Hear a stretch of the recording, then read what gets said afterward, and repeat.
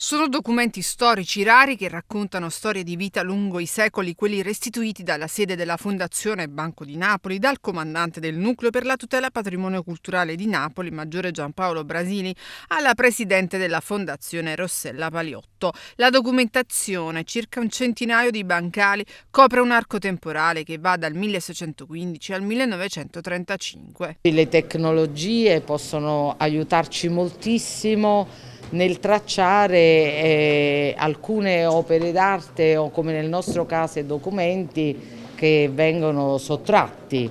Quindi attraverso un'attenta osservazione eh, dei siti internet eh, nei quali avvengono compravendite di oggetti più svariati, a un certo punto su eBay abbiamo trovato delle nostre copie polizze che venivano messe in vendita. L'indagine deriva da una denuncia circostanziata da parte della Fondazione Banco di Napoli. Questa riprova del fatto che noi chiaramente operiamo sul monitorare i mercati illeciti delle opere d'arte ma anche su segnalazione dei privati, in questo caso della Fondazione, che ci ha segnalato la vendita di alcuni documenti che potevano appartenere alla loro fondazione su piattaforme eBay.